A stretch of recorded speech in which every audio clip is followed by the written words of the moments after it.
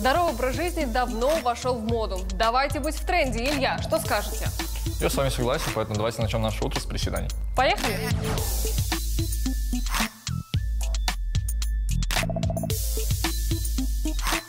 Исходное положение ноги на ширине плеч, носки развернуты слегка в стороны, колени смотрят на носки, э, слегка амортизированы, таз в нейтральном положении, живот напряжен, макушкой вытягиваем свой позвоночек наверх.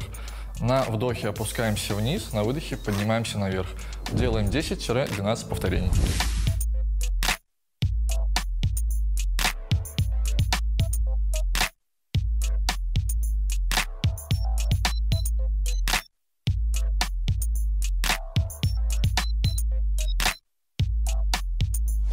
Одну ногу мы ставим на носочек. А для чего это нужно? Что это нам дает?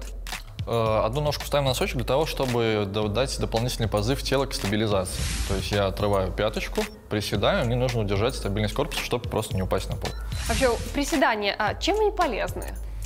Э, проработка общей группы всех мышц, но основная направленность идет на мышцы ног. При этом нам также необходимо удерживать активную планку всего тела.